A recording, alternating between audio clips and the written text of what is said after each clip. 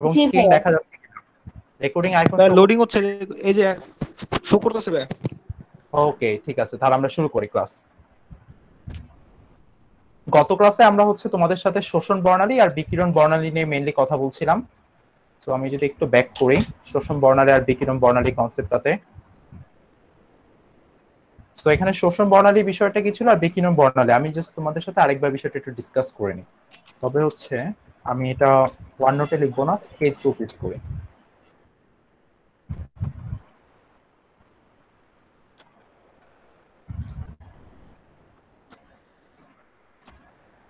আচ্ছা সবাই দেখতে পাও? জি ভাইয়া। ওকে ঠিক আছে। তাহলে শুরুতে আমি কথা বলি হচ্ছে বিকিরণ বর্ণালী। বিকিরণ বর্ণালী এটাতে তো কার্য দেখা যাচ্ছে রাইট পারফেক্টলি কার্সর মুভ করতেছে? জি ভাইয়া দেখা যাচ্ছে। আচ্ছা সো বিকিরণ বর্ণালী ইংলিশটা ছিল আমাদের ইমিশন স্পেকট্রাম তোমরা আশা করি বইয়ের পিডিএফটা পাইছো এবং সেটা পড়ছো আশা করি আমি। আচ্ছা বিকিরণ বর্ণালী বা ইমিশন স্পেকট্রাম এই ধারণাটা কি ছিল? আমাদের ধরো হচ্ছে এখানে একটা বিকার আছে গ্যাস পাত্র আছে। সো গ্যাস পাত্রে আমি কি করলাম? এখানে হচ্ছে হাইড্রোজেন গ্যাস আছে। ধরো হচ্ছে বড় বড় করে দেখালাম এগুলো হচ্ছে হাইড্রোজেন গ্যাস সো হাইড্রোজেন গ্যাসকে কি করলাম আমি? ইলেকট্রিক ওয়্যারের মাধ্যমে তাপ দিলাম। সো হাইড্রোজেন গ্যাসকে যখন আমরা ইলেকট্রিক ওয়্যারের মাধ্যমে তাপ দিব, আমরা এই জিনিসটাকে একটু জুম করে দেখাই তোমাদের। তো ধরো হচ্ছে এই জিনিসটাকে আমি একটু জুম করে দেখাচ্ছি। একটা ইন্ডিভিজুয়াল হাইড্রোজেন পরমাণুতে কি ঘটনাটা ঘটবে? তো একটা হাইড্রোজেন পরমাণুতে থাকে একটা নিউক্লিয়াস এবং তার চারদিকে একটা কক্ষপথে, একটা কাল্পনিক কক্ষপথে ইলেকট্রনটা আসলে ঘুরতে থাকে। যে ইলেকট্রনটাকে আঁকি, সেটা একটা কাল্পনিক কক্ষপথে ইলেকট্রনটা ঘুরতেছে নিউক্লিয়াসের চারদিকে।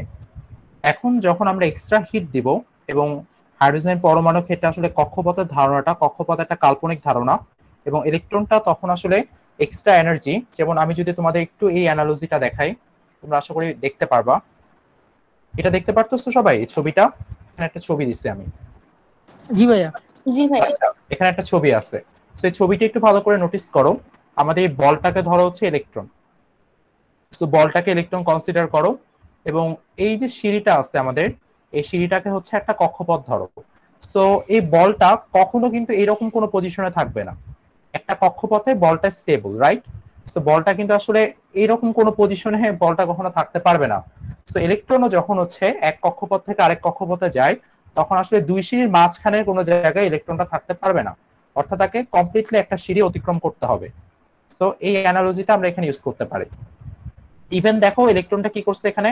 একটা সিঁড়ি মাঝখানে গ্যাপ রেখে আরেকটা সিঁড়িতে গেছে। এটাও করা যায় ডিরেক্টলি সো এটাও ইলেকট্রনটা করতে পারে যে একটা সিঁড়ি গ্যাপ রেখে সে হচ্ছে একদম নিচে বা গ্রাউন্ড স্টেট এটাকে বলতেছি আমরা সর্বনিম্ন শক্তি অবস্থা।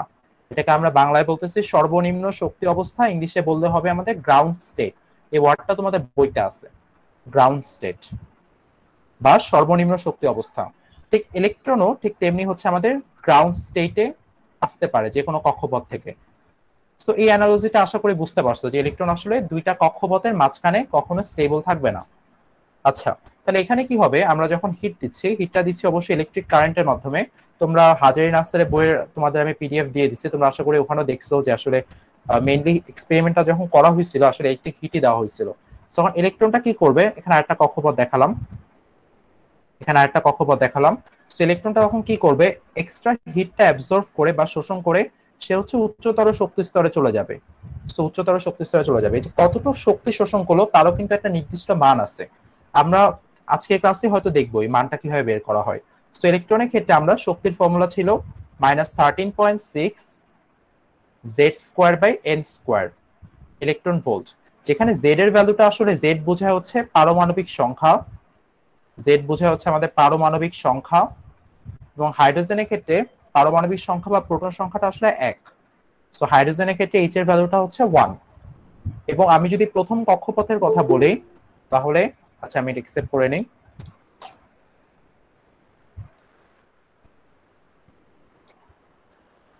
আচ্ছা আমি যদি প্রথম কক্ষপথের কথা বলি, তাহলে আসলে ভ্যালুটা যেটা হবে minus thirteen point six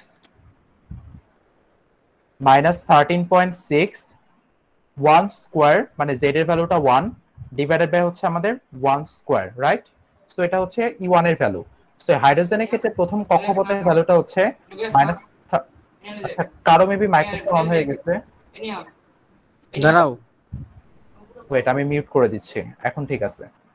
so ই ওয়ান বা প্রথম কক্ষপথের ক্ষেত্রে আমাদের ভ্যালুটা হচ্ছে minus thirteen point six Z square by N square so এখানে আমাদের এন এর ভ্যালুটা প্রথম কক্ষপথের ক্ষেত্রে ওয়ান বসল। আবার মেবি কারও মাইক্রোফোন অন হয়ে গেছে।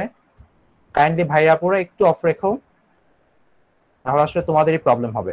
তাহলে দেখো, প্রথম কক্ষপথের জন্য আমরা শক্তির ভ্যালুটা পেলাম minus thirteen point six electron volt আমি আস্তে আস্তে বুঝাই তোমাদেরকে, তাড়াহুড়া করার দরকার নেই। দ্বিতীয় কক্ষপথের জন্য ঠিক সেম ভাবে minus thirteen point six one square divided by হচ্ছে আমাদের, এখানে ভ্যালুটা হবে টু স্কোয়ার রাইট সো এই ভ্যালুটা আসে হচ্ছে minus three point four electron volt ঠিক সেম সেম ভাবে তৃতীয় কক্ষপথের জন্য আমার ভ্যালুটা আসে ওয়ান স্কোয়ার ডিভাইডেড বাই হচ্ছে থ্রি স্কোয়ার যে ভ্যালুটা আসবে হচ্ছে minus one point five one electron volt দেখো, এই ভ্যালুগুলো কিন্তু নির্দিষ্ট। এই ভ্যালুগুলো নির্দিষ্ট তার আমি যদি ভ্যালুগুলো এখানে লিখি, প্রথম কক্ষপথের জন্য আমি বলব, তোমাদের কিন্তু এখানে স্ক্রিনশট তুলতে হবে, কারণ আসলে এই উইন্ডোটা আমাকে মিশায় ফেলতে হবে। সো কাইন্ডলি আমি যখন বলব, তখন স্ক্রিনশট তুলে নিও। তার আগে আমি ইরেজ করব না কোনো কিছু। বাট ওয়ান নোট এটা না করলেও চলবে, কারণ ওয়ান নোটে আমি পিডিএফ দিতে পারব। কিন্তু ওয়ান নোটে কার্যত দেখানো যায় না তোমাদেরকে, এখানে আসলে কার্যত দেখানো দরকার। So minus three point four electron volt এই কক্ষপথের ক্ষেত্রে। এবং এই কক্ষপথের এনার্জি হচ্ছে minus one point five one electron volt তুমি দেখো, নিউক্লিয়াস থেকে যত দূরের কক্ষপথে যাচ্ছ কক্ষপথের শক্তি কিন্তু তত বাড়তেছে রাইট সো কক্ষপথের শক্তি তত বাড়তেছে এবং অসীমে গিয়ে সেই শক্তি বাড়তে বাড়তে একদম জিরো হয়ে যায়। এখন এই জায়গাটা একটু খেয়াল করো সবাই, যখন ইলেকট্রনটা কিছু নির্দিষ্ট পরিমাণ শক্তি গ্রহণ করে দ্বিতীয় অথবা তৃতীয় কক্ষপথ, এটাকে আমি দুই নাম্বার কক্ষপথ বলতেছি, এক নাম্বার কক্ষপথ আর তিন নাম্বার কক্ষপথ, দ্বিতীয় এবং তৃতীয় কক্ষপথে যাওয়ার জন্য ইলেকট্রন একটা নির্দিষ্ট পরিমাণ শক্তি গ্রহণ করবে। কতটুকু শক্তি গ্রহণ করতে হবে তাকে? কমন সেন্স থেকে বোঝা যায়, তাকে আসলে minus three point four minus of minus thirteen point six বা হচ্ছে ten point two electron volt শক্তি গ্রহণ করতে হবে তাকে। আফটার অল দ্বিতীয় কক্ষপথে যাওয়ার জন্য।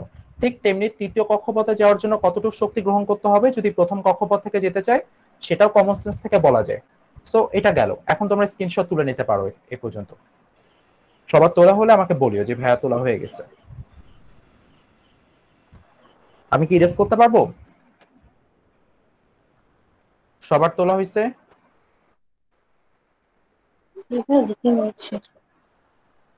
তাহলে আমি ইরেজ করে দিব এটা।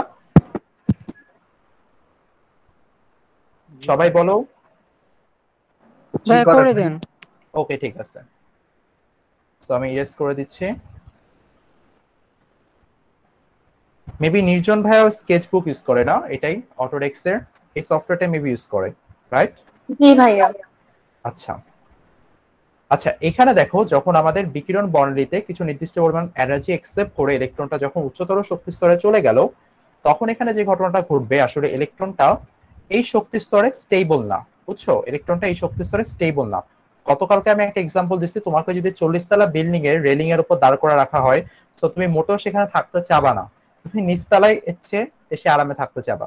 সো এটা কখনো পসিবল না। ইলেকট্রন ঠিক সেম ভাবে ইলেকট্রনের ক্ষেত্রেও সে আসলে অধিক শক্তির কোনো জায়গায় থাকতে চায় না। এখন যেহেতু শক্তি সে নিতে হয়েছে তাকে এনার্জি গ্যাপকে সাপোর্ট করছে, সে শক্তি নিবে একসেপ্ট করতে বাধ্য সো ইলেকট্রন রিসিভ করে সে তাকে চলে যেতে হয়েছে এখানে উঠে যেতে হয়েছে এখন সে কি করবে? এখন সে এনার্জিটা ছেড়ে দিবে। এনার্জি ছেড়ে দিয়ে সে আবার লোয়েস্ট এনার্জি স্টেটে ফিরতে যাবে। আচ্ছা তো সে এখন লোয়েস্ট এনার্জি স্টেটে ফিরতে যাবে। এখন এই যে এনার্জি স্টেটে ফিরবে, তোমরা জানো যে ইলেকট্রন শক্তি শোষণ করে উচ্চতর শক্তি স্তরে গমন করে এবং শক্তি বিকিরণ করে নিম্নতর শক্তি স্তরে গমন করে। এখন ইলেকট্রনটা যখন এই কক্ষপথ থেকে আসলে দুই নাম্বার কক্ষপথে, কিংবা এক নাম্বার কক্ষপথে যখন মুভ করবে, তখন আসলে এই এনার্জি গ্যাপ দুই নাম্বার এবং তিন নাম্বার কক্ষপথের যে এনার্জি গ্যাপের কথা বলতেছি, এই এনার্জি গ্যাপের সমান আসলে তাকে শক্তিটা বিকিরণ করতে হবে। এটা তো তোমরা সবাই জানো যে ইলেকট্রন যখন উচ্চতর শক্তি স্তর থেকে নিম্নতর শক্তি স্তরে যায় আসলে, তখন তাকে শক্তি বিকিরণ করতে হয়। এই যে বিকিরিত শক্তিটা আছে, বিকিরিত তোমার হচ্ছে যে তরঙ্গ দৈর্ঘ্য, সেটা কিন্তু যে কোনো র্যান্ডম ভ্যালু না। এটাও তোমরা এতক্ষণে বুঝতে পারছ। কারণ যেহেতু দুইটা কক্ষপথের শক্তির যে পার্থক্য, সেটা যেহেতু নির্দিষ্ট, অর্থাৎ এখানে আমি বলতে চাচ্ছি ধরো হচ্ছে এটা ই থ্রি বুঝাচ্ছি আমি, বা এই কক্ষপথ বা অরবিটের শক্তি হচ্ছে ই থ্রি এবং এই কক্ষপথের শক্তি হচ্ছে আমি ই টু বললাম। তো আমি যদি ডেল্টা ই বলি, তাহলে বলতে পারি হচ্ছে E three minus E two যেহেতু ই থ্রি এবং ই টু এর ভ্যালুটা নির্দিষ্ট হাইড্রোজেন পরমাণুর জন্য এটা সবসময় মানে একটা নির্দিষ্ট ভ্যালুই থাকবে, তার মানে ডেল্টা ইয়ের ভ্যালুটাও নির্দিষ্ট এখান থেকে। ডেল্টা ই এর ভ্যালুটাও নির্দিষ্ট বা কনস্ট্যান্ট থাকবে এখানে। সো ডেল্টা ই এর ভ্যালুটা যদি তোমার কনস্ট্যান্ট থাকে এই ক্ষেত্রে সো ডেল্টা ই কে দিয়ে আমরা হচ্ছে প্ল্যাঙ্কের কোয়ান্টাম থিওরি অনুযায়ী এইচ সি বাই ল্যামডা এখান থেকে হচ্ছে ল্যামডার ভ্যালুটা H C by delta E delta E এর যে ভ্যালুটা আসবে, সেটা অবশ্যই মানে ডেল্টা এর ভ্যালুটা এখানে ইলেকট্রন ভোল্ট ইউনিটে আছে। তোমরা জানো যে এক ইলেকট্রন ভোল্ট হচ্ছে one point six into ten to the power minus nineteen joule তো অবশ্যই তোমরা ইলেকট্রন ভোল্টকে জুলে প্রকাশ করে নিবা। কারণ দেখো আমাদের প্ল্যাঙ্কের যে ধ্রুবক, সেই ধ্রুবকের ভ্যালু হচ্ছে six point six two four into ten to the power minus thirty four joule second so এখানে যদি জুল ইউজ করো আর এখানে যদি ইলেকট্রন ভোল্ট ইউজ করো, তাহলে কিন্তু তোমার ইউনিট বা এককটা মিলতেছে না। কেমিস্ট্রি ক্ষেত্রে এককগুলোকে খুবই গুরুত্ব দিতে হবে। এককগুলো সেম হইতে হবে। সেম হলে তো কাটাকাটি যাবে। তো এখান থেকে তোমার জুল কাটা। তো এই যে সি এর ভ্যালু আলোর বেগ আলোর বেগ যদি তুমি হচ্ছে three into ten to the power eight অর্থাৎ মিটার পার সেকেন্ড ইউনিটে বসাও, তাহলে অ্যান্সারটা ল্যামডার ভ্যালু ল্যামডা বা তরঙ্গ দৈর্ঘ্যের ভ্যালুটা মিটারেই আসবে, এটাই কমন সেন্স বলতেছে। তুমি যে সেন্টিমিটার পার সেকেন্ড অর্থাৎ three into ten to the power ten লেখো so three into ten to the power ten অর্থাৎ সেন্টিমিটার পার সেকেন্ড ইউনিটে লিখলা তখন ল্যামডার ভ্যালুটা সেন্টিমিটারে আসবে। এটা কমন সেন্স দিয়ে বোঝা যাচ্ছে কেন সেন্টিমিটার আসবে। তো এই বিষয়টা আশা করি তোমরা বুঝতে পারছ। সবাই এতক্ষণ, এ- পর্যন্ত ক্লিয়ার যেহেতু কিছু মাত্র নির্দিষ্ট তরঙ্গ দৈর্ঘ্যের ল্যামডা আমার বের হচ্ছে, সেই ল্যামডাকে যখন আমরা ফটোগ্রাফিক প্লেটে আসলে দেখতে যাব, আমি তোমাদের ফটোগ্রাফিক প্লেটটা দেখাবো কিছুক্ষণের মধ্যেই। সো ফটোগ্রাফিক প্লেটে যখন দেখতে যাব, যেহেতু ল্যামডার ভ্যালুগুলো এরকম বিচ্ছিন্ন ভাবে আসতেছে আমাদের, আমরা ধরলাম ফটোগ্রাফিক প্লেটের বাম থেকে ডানের দিকে আমি তরঙ্গ সংখ্যা, বেশি তরঙ্গ সংখ্যার আলোগুলা ক্যাপচার হবে। তো প্রথমে ধরলাম হচ্ছে চার হাজার অ্যাংস্ট্রম তরঙ্গ দৈর্ঘ্যের লাইট এখানে অ্যাবসর্ব হলো। তাই এখানে লাইটটা দেখতে পেলাম। তারপরে ধরো হচ্ছে চার হাজার, এটা চার হাজার অ্যাংস্ট্রম হলো। এটা হইতে পারে চার হাজার দুশো অ্যাংস্ট্রম তারপরে হতে পারে আমাদের চার হাজার তিনশো অ্যাংস্ট্রম তরঙ্গ দৈর্ঘ্যের আলোটা আমাদের ফটোগ্রাফিক প্লেটে আমরা দেখতে পাচ্ছি এখানে। ঠিক আছে? ফটোগ্রাফিক প্লেটে আমরা দেখতে পাচ্ছি।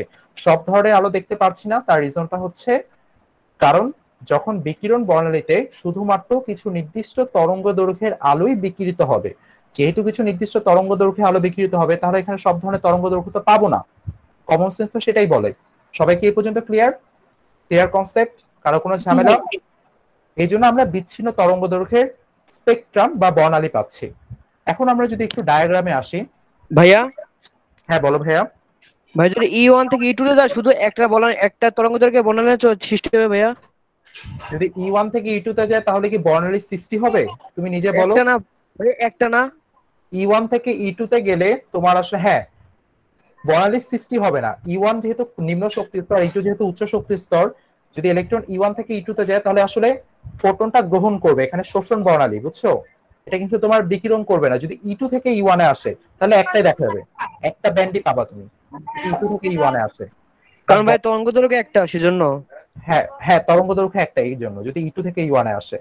আর বড় বড় পরমাণুর ক্ষেত্রে লাস্ট স্তরে তো অনেক ধরনের, অনেকগুলো ইলেকট্রন থাকে, সেক্ষেত্রে আমরা অনেকগুলো তরঙ্গ দৈর্ঘ্যে বর্ণালী পাই আসলে। আমরা একটু এই জিনিসটাতে আসি। চিত্রটাতে আসি। আশা করি সবাই চিত্রটা দেখতে পাচ্ছ আচ্ছা ওয়েট একটা সেকেন্ড ছবিটা একটু বড় করতে চাচ্ছি তারা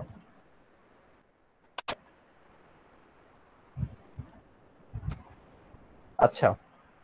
একটু খেয়াল করি এখন আমরা জিনিসগুলো একটু সুপারফিশিয়ালি দেখব আমরা। এতটা ডেপথে এই জিনিসগুলো আসলে তোমাদের প্রয়োজন হবে না। জাস্ট তাও আমরা দেখতেছি বাট বইতে সম্ভবত এটার ডায়াগ্রাম দেওয়া হয় নাই। জাস্ট একটু দেখো। এই যে আমাদের এটাকে বলতেছি আমরা ডিসচার্জ টিউব এটাকে বলতেছি আমরা ডিসচার্জ টিউব দেখো, পাশে হচ্ছে নোট করা দেওয়া আছে ডিসচার্জ টিউব সেটাকে বলতেছি আমরা ডিসচার্জ টিউব যেখানে হচ্ছে আমাদের হাইড্রোজেন গ্যাস আছে। সো এই হাইড্রোজেন গ্যাসের এদিকে তোমার হচ্ছে দুইটা ইলেকট্রোড আছে। দুইটা ইলেকট্রোডের মধ্যে হাই ভোল্টেজ ইলেকট্রিসিটি পাস করানো হচ্ছে। তো এই হাই ভোল্টেজ ইলেকট্রিসিটি পাস করার কারণে এখানে একটা শক্তি উৎপন্ন হবে, যেটা আলটিমেটলি তোমার হচ্ছে এখানে যে এক্সট্রা শক্তির কারণে তোমার আসলে এই জায়গায় হাইড্রোজেন পরমাণুগুলোর যে ইলেকট্রন ইলেকট্রনগুলো তোমার হচ্ছে উচ্চতর শক্তি স্তরে গমন করে পরবর্তীতে আবার ব্যাক করবে। এবং এখানে এক ধরনের যেহেতু ইলেকট্রনটা উচ্চতর শক্তি স্তরে গমন করে আবার ব্যাক করতেছে, এখানে অনেক হাইড্রোজেন পরমাণু আছে। তো এখান থেকে এক ধরনের বর্ণালী তোমার হচ্ছে বের হবে। যাকে বলতেছে আমরা বিকিরণ বর্ণালী। দেখো গোলাপি কালারের বর্ণালী। তোমরা হয়তো বইতেও খেয়াল করছ গোলাপি কালারের কথাই বলছে।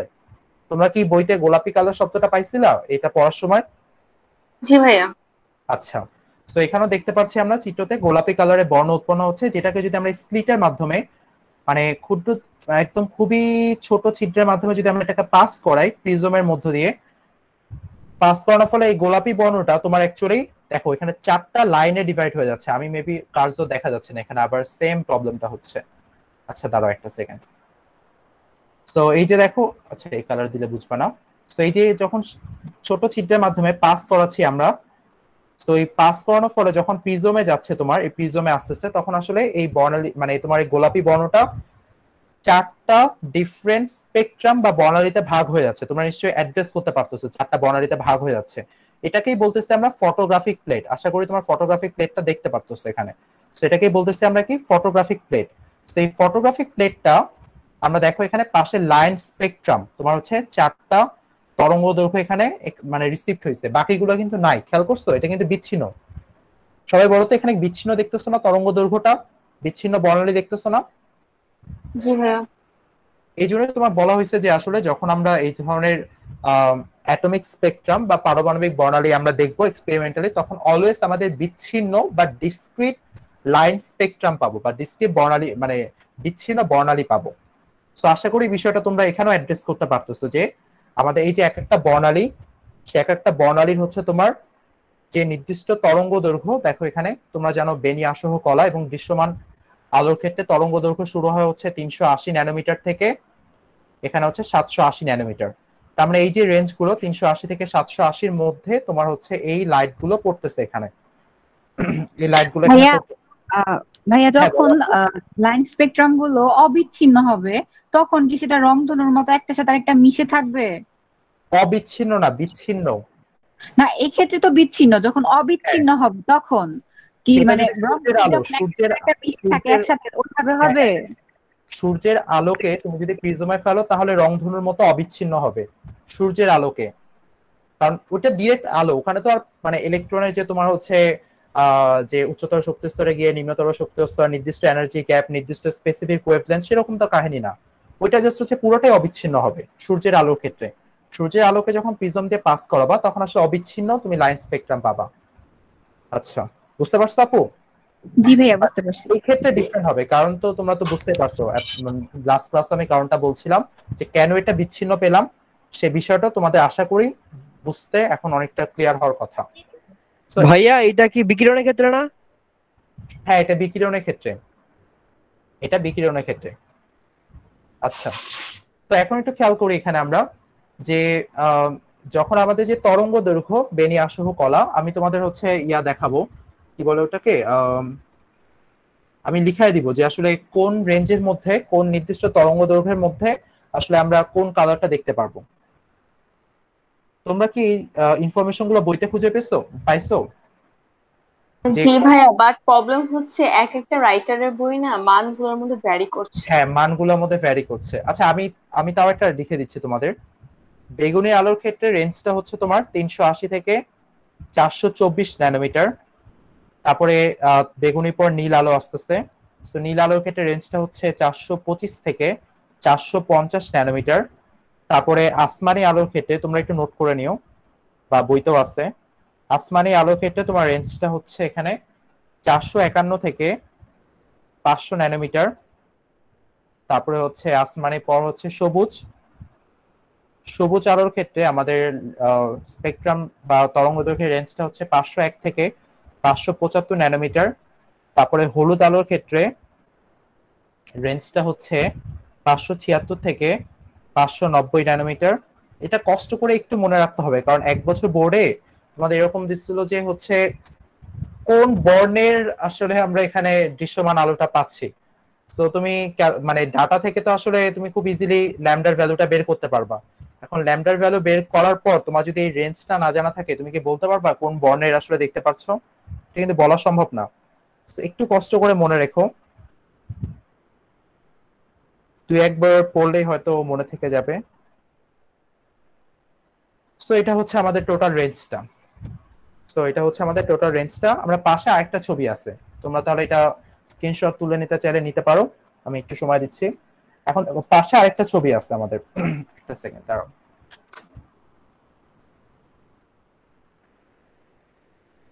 এই ছবিটা এখান থেকে খুব সম্ভবত আচ্ছা একটু কষ্ট করে দেখে নাও তাহলে ছবিটা। আমাদের যে বিভিন্ন পরমাণুর ক্ষেত্রে আমাদের এখানে ইমিশন স্পেকট্রামের একটা ডায়াগ্রাম আছে এখানে। খেয়াল করো মার্কিউরির ক্ষেত্রে, দেখো মার্কিউরির ক্ষেত্রে আমরা যখন দেখতেছি তোমার হচ্ছে এই যে দেখো, এখানে একটা আচ্ছা কীভাবে একটু দেখো, এই যে এখানে একটা এখানে একটা এখানে একটা এখানে একটা। দেখো লাইনগুলো পাওয়া যাচ্ছে, সবই কিন্তু বিচ্ছিন্ন, মাঝখানে কিন্তু কোনো লাইন পাওয়া যায় না এখানে। এখানে কিন্তু কোনো ধরনের লাইন পাওয়া যায় নাই। সেখানে কিন্তু সবই বিচ্ছিন্ন আমরা হচ্ছে লাইন পাচ্ছি। ঠিক তেমনি ভাবে ডিফারেন্ট ডিফারেন্ট পরমাণুর জন্য লাইনগুলো কিন্তু ডিফারেন্ট হচ্ছে আমাদের। সেটার সাহায্যে আমরা আসলে কোন পরমাণুটা আসলে আমরা মানে পরমাণুকে আমরা ডিটেক্ট করতে পারব পারমাণবিক বর্ণালী পরীক্ষার সাহায্যে। তো এটা একটা বই আমরা সামনে আবার দেখব। আমরা যখন বোর মডেলটা শেষ করব, এই বিষয়গুলো নিয়ে তখন আবার কথা বলব। সেখানে হচ্ছে বিভিন্ন বিভিন্ন পরমাণুর জন্য দেয়া আছে তোমাদের। সো বিভিন্ন বিভিন্ন পরমাণু, তোমার হচ্ছে ইমিশন লাইন স্পেকট্রামটা ডিফারেন্ট ডিফারেন্ট হচ্ছে। আমরা আবার ব্যাক করব এখানে। যখন হচ্ছে আমরা আমাদের বোর মডেলটা শেষ হবে। তো এই পর্যন্ত ক্লিয়ার সবার কাছে? আমি এখন শোষণ বর্ণালীটা নিয়ে কথা বলি তাহলে। বিকিরণ বর্ণালী ক্লিয়ার সবাই রেসপন্স করো। জি ভাই জি ভাইয়া। আচ্ছা। একটা কোশ্চেন হ্যাঁ ছিল। বলো। হ্যাঁ বলো ভাইয়া। হ্যাঁ বলো। ভাইয়া কোশ্চেনটা হচ্ছে যে দৃশ্যমান আলো তো তিনশো ভাইয়া কোশ্চেনটা হচ্ছে দৃশ্যমান আলো তিনশো আশি থেকে সাতশো আশি মিটারের মধ্যে তাই না? হ্যাঁ হ্যাঁ হ্যাঁ। হ্যাঁ। তো ভাইয়া আমরা যদি এর এর বাইরে যদি আমরা উপরে কোনো তরঙ্গ দৈর্ঘ্য পাই তাহলে সেটা আমরা খালে চোখে দেখতে পারব না বাট ওটা দেখার ডিফারেন্ট সিস্টেম আছে। আমরা সামনে এটা নিয়ে কথা বলব। আমি তোমার কোশ্চেনটা বুঝতে পারছি। তোমার গামারে ধরা পড়তে পারে তোমার হচ্ছে মহাজাগতিক রশ্মি ধরা পড়তে পারে তোমার এক্সরে ধরা পড়তে পারে সেটা আমরা দেখব সামনে। আচ্ছা বাট এইটা যদি আমি এখন ওগুলো নিয়ে কথা বলি তাহলে দেখা যাবে যে আসলে আমাদের যে বোর মডেল সেখান থেকে কিন্তু অলরেডি আমরা একটু দূরে চলে গেছি। এই মহাজাগতিক রশ্মিটা কি এটার তরঙ্গ দৈর্ঘ্য দেখছিলাম অনেক ছোট। অনেক ছোট হ্যাঁ। মহাজাগতিক রশ্মি সম্পর্কে আমার ধারণাটা খুব একটা বেশি না বাট আমি দেখব তাহলে একটু রিসার্চ করে মহাজাগতিক রশ্মি নিয়ে। মানে এগুলো নিয়ে আসলে ক্লিয়ার কথাবার্তা তোমাদের বলা নাই। আচ্ছা আমি এটা ধরো ইরেজ করে দিচ্ছি। ওকে এটা আবার কি আসলো? হ্যাঁ। এখন আসি আমরা শোষণ বর্ণালী নিয়ে কথা বলব। শোষণ বর্ণালী।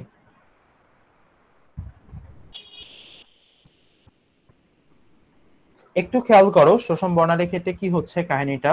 আমরা কি করতেছি? আমাদের যে হাইড্রোজেন পরমাণু আছে, পরমাণু কেন্দ্রে নিউক্লিয়াস থাকতেছে। নিউক্লিয়াসের চারদিকে হচ্ছে আমার ইলেকট্রনগুলো ঘুরতেছে। তারপরে হচ্ছে এখানে একটা ইলেকট্রন আছে। যেমন তোমরা সবাই কি কি কোশ্চেন করতেছো, সেগুলো কিন্তু আমার মনে আছে। যেমন ইভা আপু আমাকে জিজ্ঞাসা করেছিল লাস্ট ক্লাসে হচ্ছে প্রতিপ্রভা আর অনুপ্রভার মধ্যে। ওগুলো আমি সবকিছু বলব যখন কারেক্ট সময়টা আসবে। তখন ওগুলো নিয়ে সবকিছু নিয়ে কথা বলব। আর সাব্বির ভাইয়ের কোশ্চেন হচ্ছে আমাদের আম, যে অন্যান্য রশ্মিগুলো আমরা কীভাবে ডিটেক্ট করতে পারি। আচ্ছা তাহলে এই যে ইলেকট্রনগুলো আছে না আমাদের এটা হচ্ছে হাইড্রোজেন পরমাণু ক্ষেত্রে আমাদের যে ইলেকট্রনটা ঘুরতেছে নিউক্লিয়াসের চারদিকে ইলেকট্রনটা যে ঘুরতেছে আমরা এখানে কি করলাম? সাদা আলো পাস করালাম। তো আমরা যদি এখানে সাদা আলো পাস করাই সাদা আলোর ক্ষেত্রে তোমরা জানো যে সাদা আলোর আসলে সাতটা স্পেকট্রাম আছে। সাতটা কালারে ডিভাইড হয়ে যায় সাদা আলো। প্রিজমে ফেললে আমরা সাতটা ডিফারেন্ট স্পেকট্রাম পাই বা সাতটা ডিফারেন্ট আলো পাই। সেখানে কি হতে পারে? আমাদের এই আমাদের যে হাইড্রোজেন পরমাণু আছে সেই পরমাণুর উপাশে ধরো হচ্ছে একটা ফটোগ্রাফিক প্লেট রাখা আছে। তো আমরা যখন এদিক দিয়ে সাদা আলো পাস করাচ্ছি তো সাদা আলোর মধ্যে কিছু নির্দিষ্ট তরঙ্গ দৈর্ঘ্যের লাইট আসলে এই ইলেকট্রনটা অ্যাবজর্ভ করবে। সেই তরঙ্গ দৈর্ঘ্যের লাইটটা অ্যাবজর্ভ করবে, যেটা আসলে এদের তোমার হচ্ছে এই ব্যান্ডটাকে স্যাটিসফাই করে, বুঝছ? মানে এদের ব্যান্ডটা ঠিক না মানে এদের যে এনার্জি গ্যাপটা আছে, সেই এনার্জি গ্যাপটাকে স্যাটিসফাই করে। শুধুমাত্র সেই নির্দিষ্ট তরঙ্গ দৈর্ঘ্যের আলোই এখানে গ্রহণ করবে এই ইলেকট্রনটা তো গ্রহণ করলে কি হবে? ওই ফোটনটা যদি ইলেকট্রনটা খেয়ে ফেলে, তাহলে কিন্তু ফোটনটা গায়েব হয়ে যাচ্ছে। আমার যখন হচ্ছে, আমরা যদি এখানে ফটোগ্রাফিক প্লেটটা দেখি, সেই ফটোগ্রাফিক প্লেটে যেই ফোটনগুলো আসলে ইলেকট্রনটা খেয়ে ফেলল মানে সেই ফোটনগুলো আসলে গায়েব হয়ে গেল। ওইটা ছাড়া বাকি যে ফোটনগুলো আছে, সেগুলো আমরা দেখতে পারব। সেটা ছাড়া এখানে আসলে লাইনগুলো আসলে এতটা তোমার বিচ্ছিন্ন মানে এখানে লাইনগুলো আসলে একটু ক্লোজ থাকবে। অনেকটাই ক্লোজ থাকবে। বা মাঝখানে কিছু একটা গ্যাপ থাকবে মানে একেবারে যে কন্টিনিউয়াস সেটাও না বাট একটু ক্লোজ থাকবে লাইনগুলো। সো লাইনগুলো ক্লোজ থাকবে এবং যে নির্দিষ্ট এনার্জির ফোটনটা আসলে ইলেকট্রনটা খেয়ে ফেলছে সেই ফোটনটা গায়েব হয়ে যাবে। সো ওইটা বাদে আমরা বাকি সব এখানে দেখতে পারব। সো যেহেতু এখানে শোষিত হচ্ছে, কিছু নির্দিষ্ট শক্তির ফোটন কিছু নির্দিষ্ট শক্তির ফোটন যেহেতু এখানে শোষিত হচ্ছে, তাই এটাকে বলতেছি আমরা শোষণ বর্ণালী। সবার কাছে ক্লিয়ার এতটুকু বুঝলেই চলবে আল্লাহ রহমতে। আর এটা নিয়ে খুব একটা বেশি কিছু না জানলেও চলবে। আমাদের বইতে এতটুকুই আছে সিলেবাসের ভিতরে। আর কারও কোনো কোশ্চেন এই টপিকটা নিয়ে? ভাইয়া আমি বলি। হ্যাঁ বলো ভাইয়া। এই ইলেকট্রন এই যখন সাদা আলো পাস করা হবে তখন ওই আলো থেকে ইলেকট্রন শক্তি নিয়ে উপরের কক্ষপথে যাবে। হ্যাঁ অবশ্যই। তার এর কারণে কিছু ফোটন এখানে যে শক্তি যে তরঙ্গ দৈর্ঘ্য নিচ্ছে ওটা হারিয়ে যাবে সেটা আমরা দেখতে পাচ্ছি না ফটোগ্রাফিক প্লেটে হ্যাঁ যেটা হারা যাবে সেটা দেখব না। আর ভাইয়া ওই যে ইলেকট্রনটা পর উপরে কক্ষপথে গেল সেটা যদি আবার নিচে আসে তখন আবার বিকিরণ বর্ণালী দেখতে পাবো? সেটাকে আমরা ফটোগ্রাফি প্লেটে রেকর্ড করব না। এখন আমরা ওই পার্টটাকে নিয়ে ডিল করতেছি না টোটালি ওই পার্টটা বাদ এখানে। বুঝছ? ওই পার্টটা আমরা এখানে কনসিডারেশনে আনতেছি। না। আমরা শুধু এখানে শোষণ হয়েছে সেটা কনসিডার করব। আশা করি ক্লিয়ার হয়েছে এবার। ওই পার্টটাকে আমরা কনসিডারেশনে আনব না টোটালি এখন যদি কেউ স্ক্রিনশট এখানে আসলে তোলার মতো কিছু নাই তাও তুলে রাখতে পারো আমি ইরেজ করে দিচ্ছি তাহলে। আচ্ছা তাহলে আমি হচ্ছে এখন বোর মডেলের বাকি আলোচনাটা শুরু করি মানে ব্যাপারটা হলো ভাইয়া? হ্যাঁ বলো ভাইয়া। ভাইয়া মানে আমি ওই দিন একটা প্রশ্ন করছিলাম যে মানে হাইড্রোজেন পরমাণু এই তো ইলেকট্রন তো একটা ইলেকট্রন একটা থাকার পরেও এখানে একাধিক শক্তি স্তর কীভাবে থাকে? আচ্ছা বুঝতে পারছি আমি বলতেছি এখন তোমাকে। হাইড্রোজেন পরমাণু ক্ষেত্রে হ্যাঁ ইলেকট্রন একটা ঠিক আছে। সে একটা ইলেকট্রন সবসময় চেষ্টা করবে ইলেকট্রন থেকে একটা নির্দিষ্ট ডিস্টেন্সে ঘুরতে থাকবে, যেটা আসলে প্রথম কক্ষপথের ব্যাসার্ধ আমি বলতেছি। এখানে কক্ষপথের ধারণাটা টোটালি কাল্পনিক একটা ধারণা। সো ইলেকট্রনে যখন তুমি জানো যে হাইড্রোজেনের ক্ষেত্রে ইলেকট্রনের প্রথম কক্ষপথে ইলেকট্রনের শক্তিটা হচ্ছে minus thirteen point six electron volt যখন ইলেকট্রনের কাছে এই পরিমাণ এনার্জি থাকবে, তখন আসলে সেই নিউক্লিয়াস থেকে কতটুকু ডিস্টেন্স থাকবে, আর এর ভ্যালুটা আমরা বের করা শিখছি। এখনও শিখি নাই, আমি তোমাদের দেখাবো। Zero point two five two nine into N square by Z angstrom সেটা হচ্ছে আমাদের প্রথম কক্ষপথের ব্যাসার্ধ। সো ইলেকট্রনটা যখন হচ্ছে আমাদের ইলেকট্রনের মধ্যে নির্দিষ্ট পরিমাণ এনার্জি থাকবে, তখন আসলে সে নিউক্লিয়াস থেকে দেখো এখানে এন এর মান এবং জেড এর মান বসাও zero point five two nine angstrom আসবে ব্যাসার্ধ। ইলেকট্রনটা তখন নিউক্লিয়াস থেকে এত দূরত্বে ঘুরতে থাকবে। এখন যদি তুমি ইলেকট্রনের শক্তিটা বাড়াও ইলেকট্রন কিন্তু যে কোনো প্রকার শক্তি গ্রহণ করবে না, সে শুধুমাত্র যেটা তার এনার্জি গ্যাপকে সাপোর্ট করে, শুধুমাত্র সেই পরিমাণ শক্তি গ্রহণ করবে। তখন গ্রহণ করার ফলে কি হবে? ইলেকট্রনটা তোমার দূরে চলে যাবে নিউক্লিয়াস থেকে। সো যেখানে ফার্স্টে এখানে ঘুরতেছিল, সেখানে ইলেকট্রনটা এখানে ঘুরবে। সো কক্ষপথের ধারণাটা এরকম না যে কক্ষপথ হচ্ছে তুমি যদি পৃথিবীর চারদিকে চাঁদের ঘোরার কথা বলতেছো ধরো হচ্ছে এটা আমাদের পৃথিবী। তো হচ্ছে এটা আমাদের পৃথিবী। পৃথিবীর চারদিকে যখন হচ্ছে তোমার চাঁদ ঘুরতেছে একটা নির্দিষ্ট কক্ষপথে, পৃথিবীর চারদিকে, এই কক্ষপথটা কিন্তু টোটালি কাল্পনিক একটা কক্ষপথ, বুঝছ? তো এমন হতে পারে কেউ তো এখানে মানে এত যেহেতু এগুলো সুপার ম্যাসিভ অবজেক্ট এগুলো তো তো হচ্ছে সামান্য পরিমাণ শক্তি দিয়ে এগুলো মানে তোমার হচ্ছে দূরে সরবে না। তবে আমার যতটুকু ধারণা আছে এটা সম্পর্কে যে ব্ল্যাক ম্যাটার নামে হচ্ছে একটা যেটা হচ্ছে মহাবিশ্বের ইনফাইনাইট এনার্জির একটা সোর্স সেই কারণে আসলে মহাবিশ্বের প্রতিটি বস্তু কণা একটা একটা থেকে দূরে সরে যাচ্ছে। তো এরকম সম্পর্কে হয়তো তোমরা শুনছো। শুনছো না সবাই? মহাবিশ্বের প্রতিটি বস্তু কণা যে একটা একটা দূরে চলে যাচ্ছে? জি ভাই জি ভাই, জি ভাইয়া শুনছি। জি এক্স্যাক্টলি সবাই বেশি শুনছো এটা নিয়ে। সবাই বেশি শুনছো এটা নিয়ে। জি ভাই শুনছি। আচ্ছা এখন বাকিরা অফ রেখো মাইক্রোফোন আচ্ছা। তো দেখো কন্টিনিউয়াস কিন্তু এখানে যদি সরে যায় তোমার কিন্তু কক্ষপথে সামান্য হলো ডেভিয়েশন একটা হচ্ছে। বাট এটা খুবই সামান্য। বাট কক্ষপথে কিন্তু একটা ডেভিয়েশন হচ্ছে তোমার বা মানে যেটা ছিল আগে সেখান থেকে কিন্তু সামান্য পরিমাণ হলো ডিএক্স পরিমাণ হলো তোমার ডিএক্স অপারেটর মানে ডিএক্স নামটার সাথে হয়তো খুবই পরিচিত যে খুবই সামান্য বোঝাতে আমরা এটা ইউজ করি। সো খুবই সামান্য হলেও কিন্তু কক্ষপথে চেঞ্জ হচ্ছে একটা এনার্জির কারণে। কারণ এটা কাল্পনিক কক্ষপথ এমন না যে চাঁদ আসলে কোনো কিছুর সাথে আটকে থেকে পৃথিবীর চারদিকে ঘুরতেছে মোটেও সেরকম না। পুরোটাই কাল্পনিক কক্ষপথ। এখানে আইনস্টাইনের আসলে স্পেস টাইম কার্ভেচার নামে একটা থিওরি আছে আম, যেটা আমি নিজেও ঠিক মতো বুঝি না কি বুঝাবো। তো হচ্ছে স্পেস টাইম কার্ভেচারে তোমার হচ্ছে ওইখানে মনে করা হয় যে সবকিছু আসলে তোমরা হয়তো মডেলটা দেখছ। আচ্ছা আরেকদিন দেখাবো তাহলে। আজকে তো দেখানো পসিবল না। তো হচ্ছে এমন না যে চাপটা তোমার হচ্ছে কোনো মানে ভাইয়া। হ্যাঁ বলো ভাইয়া। স্থানকাল বক্রতা ওইটা। হ্যাঁ ওটার কথাই বলতেছি। Space time curvature space time curvature আচ্ছা। সেটা সম্পর্কে আমার নিজেরও খুব একটা ভালো ধারণা নেই। এখন যেটা বলি শোনো যে চাঁদের কক্ষপথ কিন্তু হচ্ছে সামান্য পরিমাণ হলো ডেভিয়েট করতেছে এই এনার্জির কারণে। যখন ইলেকট্রনের ক্ষেত্রে এরকম এনার্জি থাকবে সে আসলে ওই জায়গায় থাকবে না। সে আসলে ওই পরিমাণ এনার্জিটা রিসিভ করে ইলেকট্রন থেকে নিউক্লিয়াস থেকে দূরে সরে গিয়ে ঘুরতে থাকবে বুঝছ? একটা কাল্পনিক কক্ষপথে।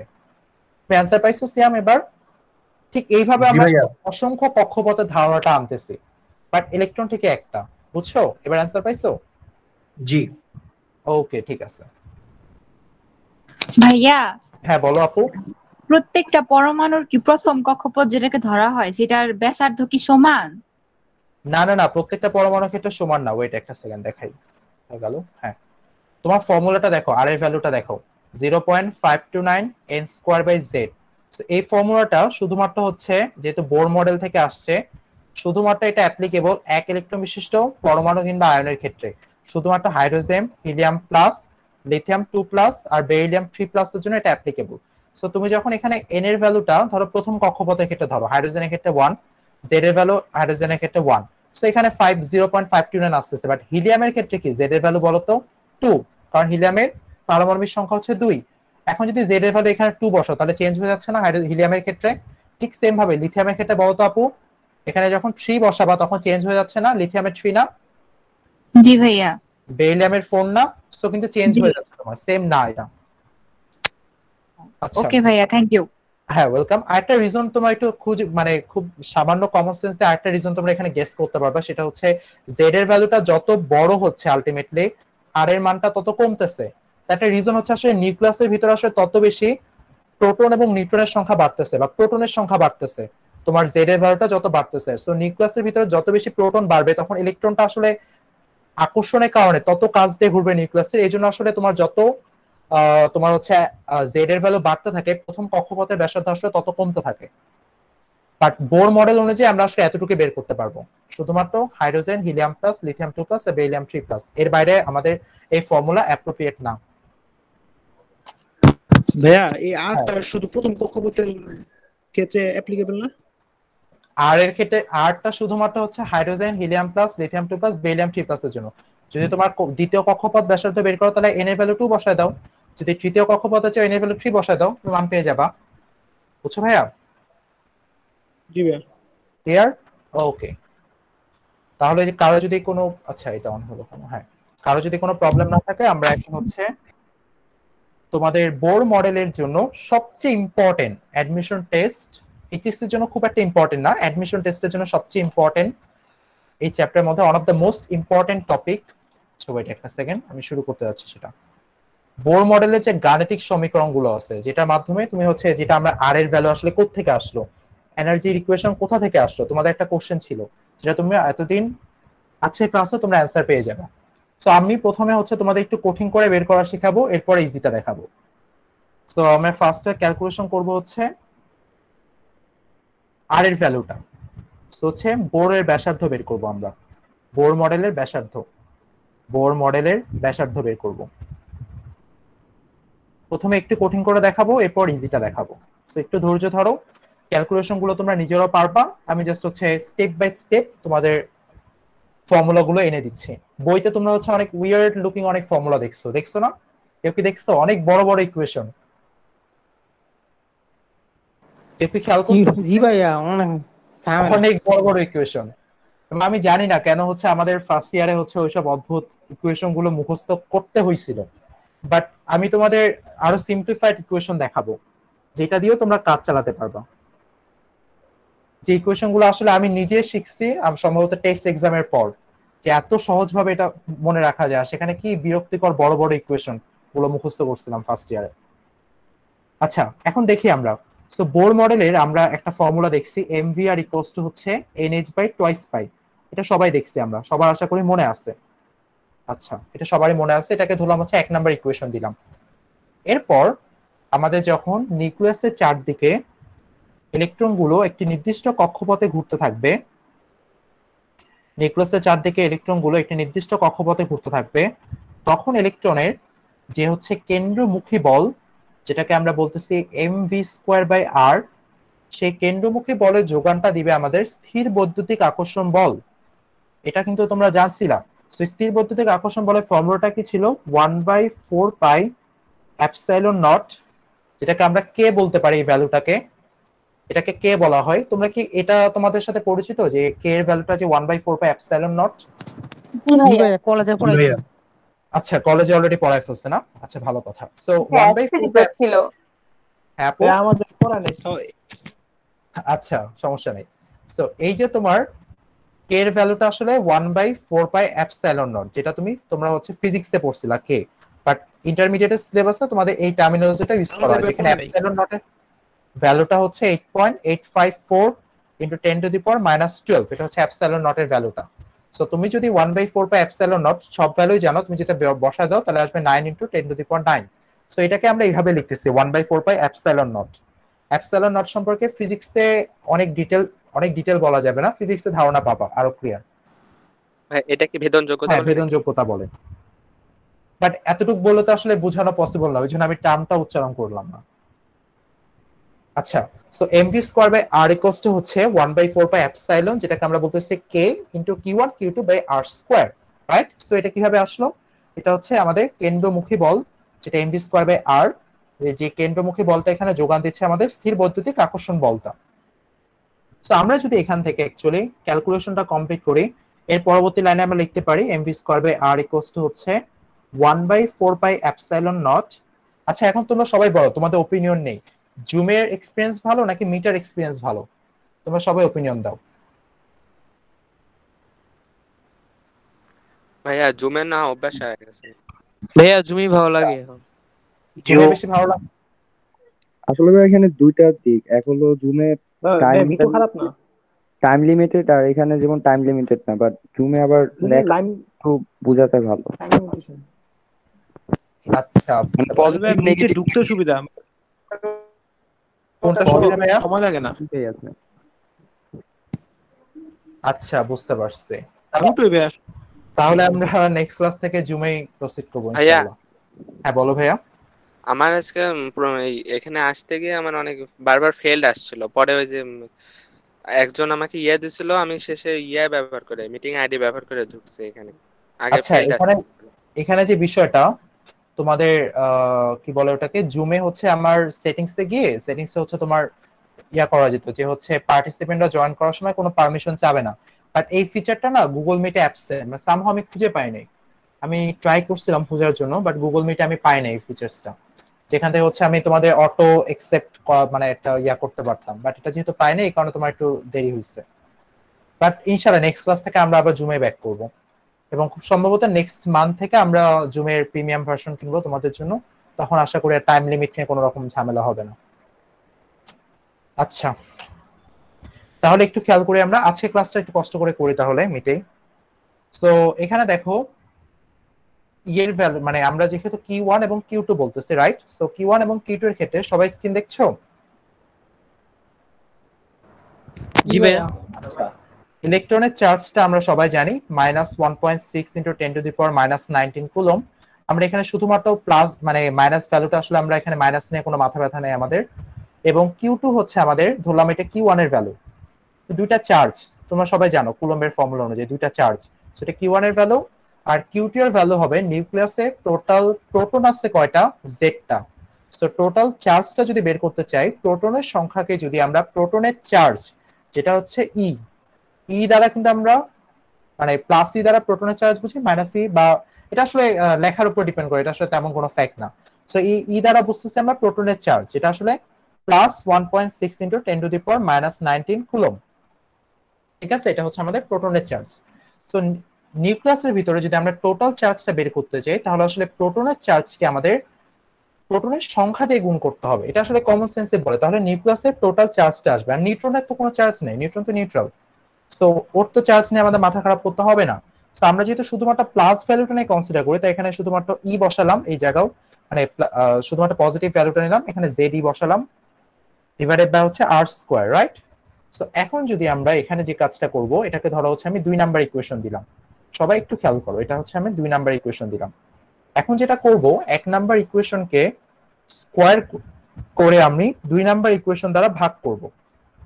এক নাম্বার ইকুয়েশনকে বর্গ করে আমরা দুই নাম্বার ইকুয়েশন দিয়ে ভাগ করব। আচ্ছা তার আগে আমাকে একটু হেল্প করো যে আজকে ক্লাসে আসলে তোমাদের পরিচিত কেউ কি অ্যাবসেন্ট আছে? যাকে তোমরা চিনো সে আজকে ক্লাস করতেছে না।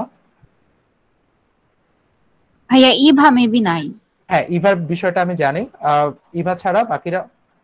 বর্ণ আছে? বর্ণ ভাই ডিউটিতে আছে। না না ও কালকে ও কালকে ঢাকা যাবে। ফর দিস রিজন তো ঘুমাই গেছে নাহলে। ও আচ্ছা বুঝতে পারছি। আর কেউ? তোমাদের জানা মতে? আরও অনেকেই মিস আছে ভাইয়া কারণ পার্টিসিপেন্ট মেম্বার গ্রুপে যতজন সে তুলনায় ক্লাসে পার্টিসিপেন্ট কম। ক্লাসে পার্টিসিপেন্ট কম সেটা আমিও দেখতেছি। শুরু থেকে যারা ছিলা তোমরা তোমরাই ক্লাস করতেছো। আর যারা শুরুর ক্লাসগুলো করে নাই তারা এখনও নাই। একটা গ্রুপ। মনে হয় সবসময় রেকর্ডেড ক্লাস করে। হ্যাঁ আমার তাই মনে হচ্ছে আর কি। বাট এটাতে আসলে খুব বেশি বেনিফিট নাই। তাহলে এই ক্লাসের কি থাকল আর কি? ওর ইউটিউবে অনেক আছে। আই এখানে বাইরের কেউ আসছে যে অলরাউন্ডার অলরাউন্ডার কে ভাই এই? আচ্ছা হয়তোবা গুগল মিটে বাইরের কেউ তো থাকার কথা না এখানে যেহেতু আমাদের গ্রুপেরই লিংক আছে। তো তোমাদের মতে অলরাউন্ডার কেমন এই জন্য জিজ্ঞেস করলাম। আচ্ছা অলরাউন্ডার ভাইয়া তোমার নাম কি? বোঝা যাচ্ছে না যদিও। তন্ময়। ও তন্ময় আচ্ছা। তন্ময় মেবি গ্রুপে আছে। এছাড়া বাকিদের? আচ্ছা এখানে আমি কয়েকজনকে চিনি না। তোমরা যদি একটু আমি জাস্ট কয়েকজনের নাম বলি। সো যাদের আমি চিনি না একটু তোমার নিজেদের পরিচয় দাও। তোমরা কোন কলেজে পড়তেছো আর কোথা থেকে ক্লাস করতেছো? আচ্ছা হ্যাঁ তন্ময় ভাই তুমি বলো। আমি সিটি কলেজে ঢাকা সিটি কলেজে ঢাকা সিটি কলেজে আচ্ছা। তুমি কি ঢাকায় আছো এখন? না নেত্রকোনা। নেত্রকোনায় আছো আচ্ছা। তারপরে হচ্ছে নিহাল। জি স্যার আমি স্যার কুমিল্লা সরকারি কলেজ থেকে স্যার। কুমিল্লা সরকারি কলেজে। আচ্ছা। কুমিল্লা সরকারি কলেজে। আচ্ছা। আচ্ছা এখন তাহলে মাইক্রোফোন মিট রেখো। বাকিরা আমি আর দুজন তিনজনকে জিজ্ঞাসা করি।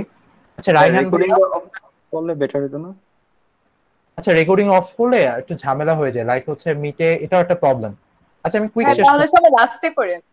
আচ্ছা ঠিক আছে এটা ভালো তাহলে লাস্টে করি। ওকে তাহলে আবার পড়ায় ফেরত যাই।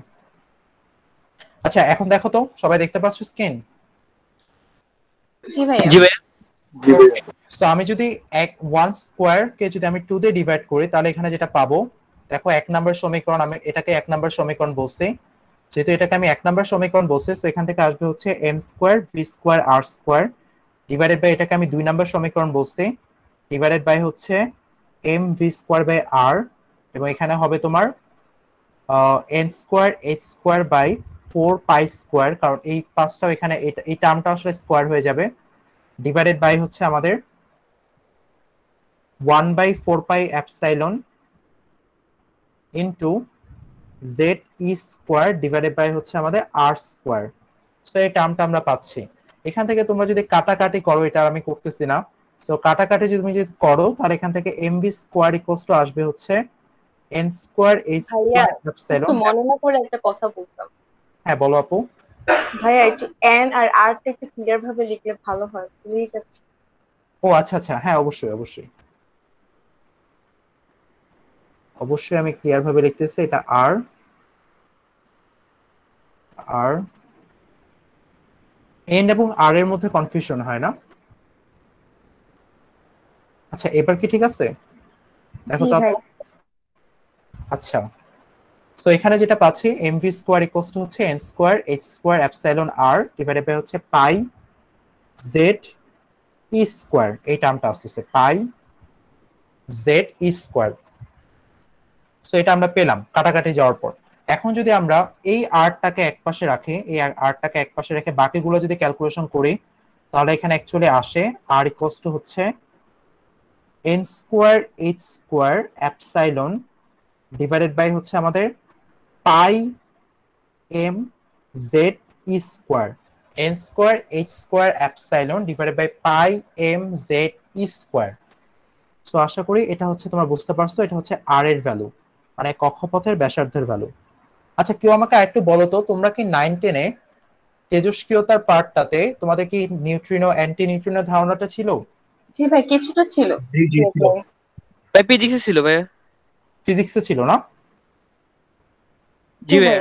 মানে তোমরা কি চাও ওই জি নিয়ে আমরা একটু কথা মানে বলি একদিন একটা ক্লাসে জি ভাই কথা বললে ভালো হয় কনসেপ্টটা ক্লিয়ার হয়। আচ্ছা এটা কিন্তু তোমাদের ইন্টারমিডিয়েটে নিউট্রিনো অ্যান্টি নিউট্রিনের সেভাবে কথা বলা হয় নাই।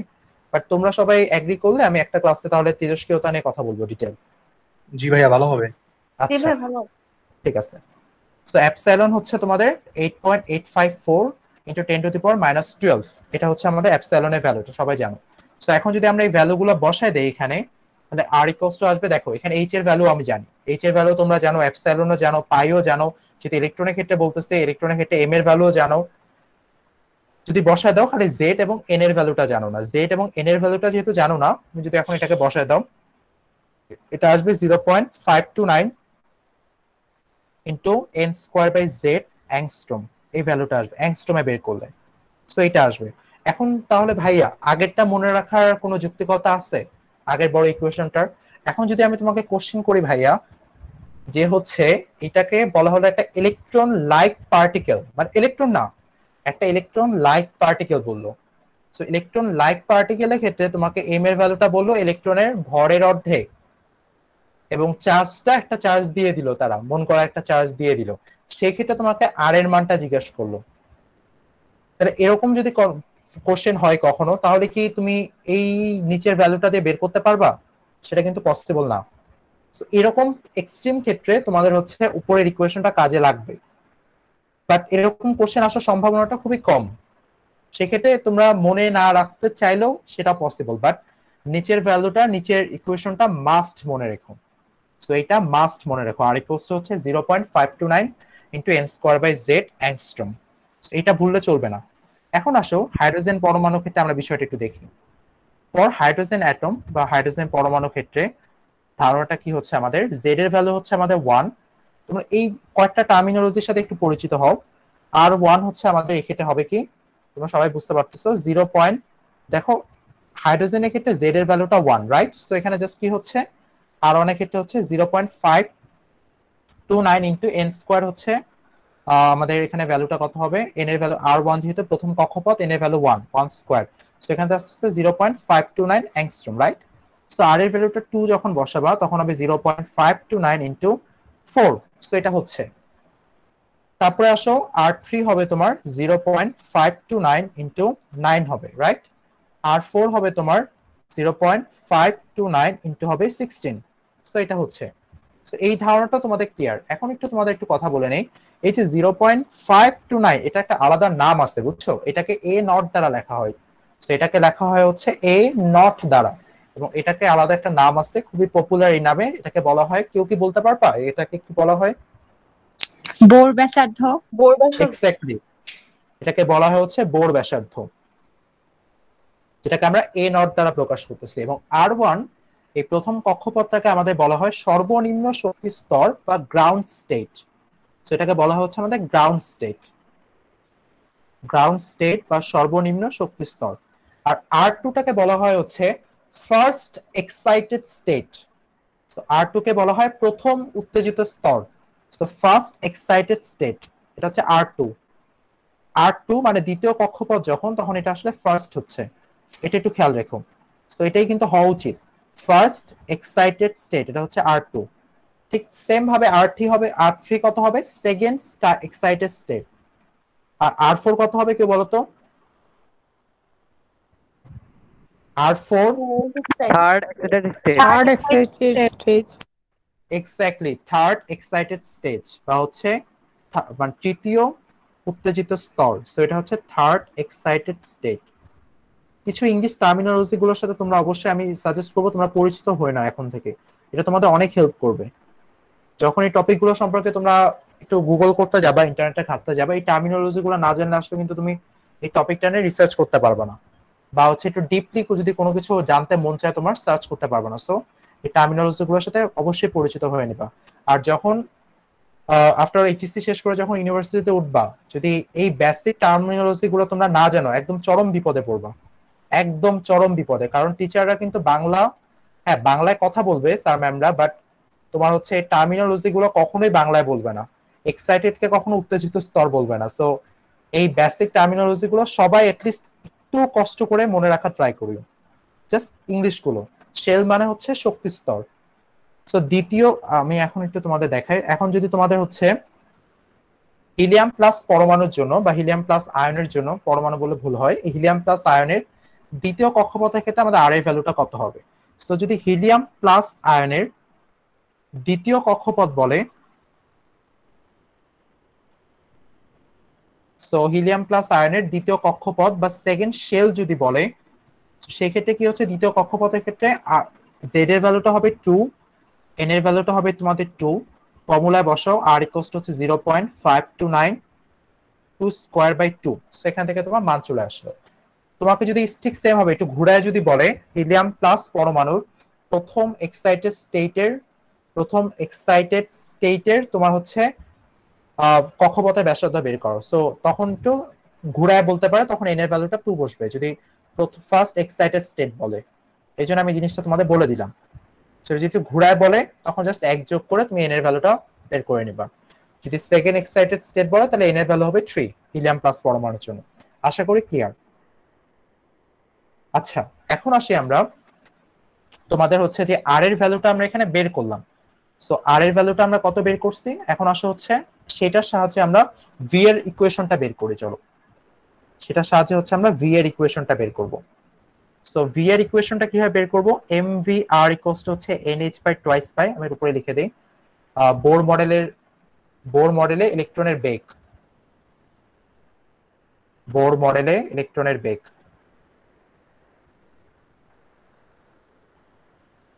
আচ্ছা তোমাদের যে আমি পিডিএফটা দিয়ে দিছি লাস্ট ক্লাসে লাস্ট ক্লাসে ঠিক না মেবি গতকালকে দিছি।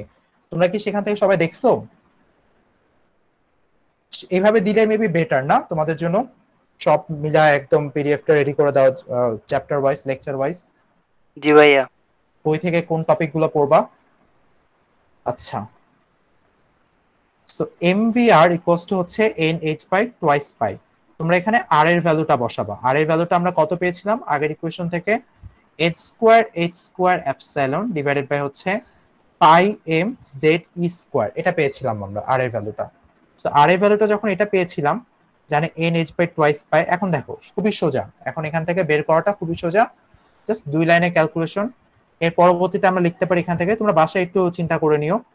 V N H epsilon naught divided by হচ্ছে আমাদের Z E square V N H epsilon naught divided by Z E square into half এটা পাচ্ছি। এরপরে যদি আমরা ভি এর ভ্যালুটা বের করি সো ভি এর ভ্যালুটা আসবে হচ্ছে আমাদের Z E square divided by হচ্ছে আমাদের two H epsilon naught N okay এই জিনিসটা আমরা পেলাম। সো এটা হচ্ছে ভি এর ক্ষেত্রে সমীকরণ। Z E square divided by two H epsilon naught N so এটা হচ্ছে আমাদের বোর মডেলে ইলেকট্রনের বেগ। সবার কলেজে কি এটা পড়ায় ফেলছে এই টপিকগুলো? না ভাই। ভাই। না ভাইয়া পড়ায় নাই এখন। আচ্ছা অন্য কলেজগুলোতে আমাদের তো ভাই ক্লাসই শুরু হয়নি ও আচ্ছা, আমাদেরও ভাই ক্লাসে শুরু হয়নি ঠিক বা আমাদেরও পড়ায় নাই। ও আচ্ছা আচ্ছা। কলেজে যাদের শুরু করছে যাদের ক্লাস শুরু হয়েছে তাদের কোন পর্যায়ে আছে? আমরা কি কলেজ থেকে আগে আছি? বা এক একদিন এক একটা পড়াইতেছে। প্রথমত পড়াই মডেলের বেসিক মাত্র। স্যার পরমাণু মডেলের বেসিক ইয়াগুলা বলছে আর কি ও আচ্ছা বুঝতে পারছি। ভাই আমরা আগে আছি হ্যাঁ বলো ভাইয়া। ভাই এটা কি বার করলেন ভাই আমার লাইনটা কাটে গেছিল এখন হঠাৎ করে। দেখতে পাই না জাস্ট এই লাইনের পর তুমি যদি বেসিক কাটাকাটি গুলো কমপ্লিট করো তাহলে লিখতে পারবা V N H epsilon Z square divided by কষ্ট হবে হাফ এখন এখান থেকে ভি কে এক পাশে রেখে তুমি হচ্ছে জাস্ট এখন দেখো জেড ই স্কোয়ার তাহলে উপরে চলে গেল এখানে, আর এই টার্মটা নিচে চলে আসলো। সো এটা তুমি নিজে বাসায় দেখলেই পারবা। এগুলো তো আর দেখানোর কিছু নেই বেসিক বীজগণিত সো এখান থেকে দেখো ভি এর ভ্যালুটা যদি তুমি ক্যালকুলেট করো, দেখো এখানে নোন টার্ম কোনগুলো? ই স্কোয়ার অ্যাপসাইলন আচ্ছা আমি একটু অন্য কালার দিয়ে দেখাই।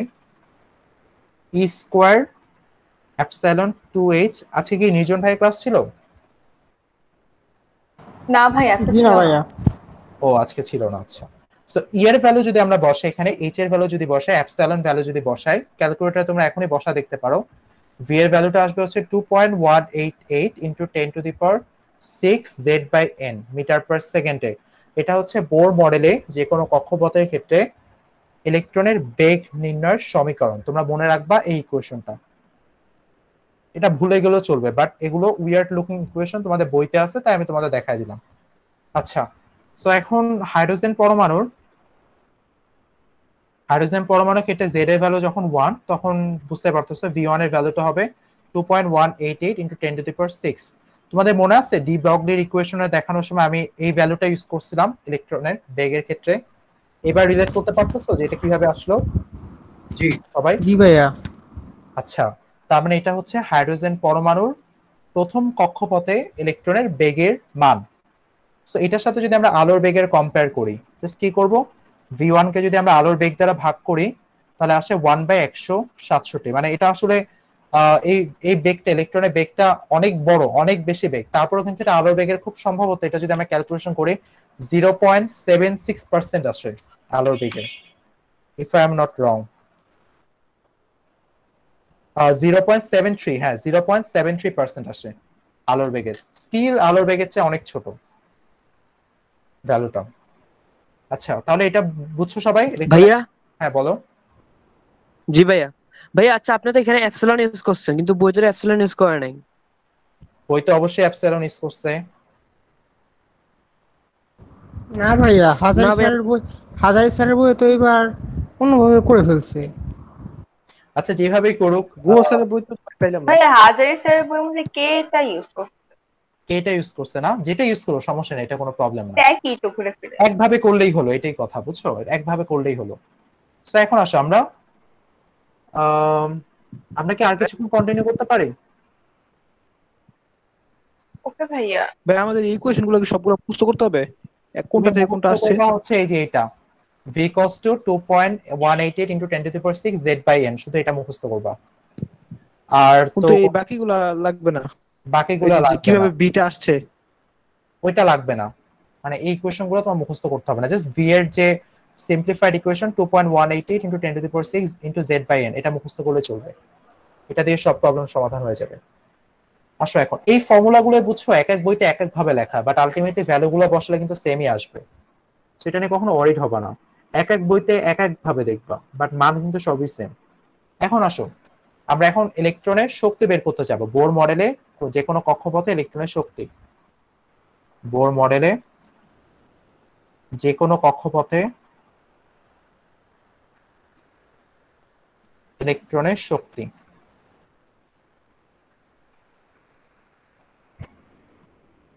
আচ্ছা। তাহলে এটা কি হবে? প্রথমে আমরা ইলেকট্রনের গতিশক্তি বের করি। কে ই দ্বারা বুঝাচ্ছি kinetic energy of electron so ইলেকট্রনের গতিশক্তি বের করি।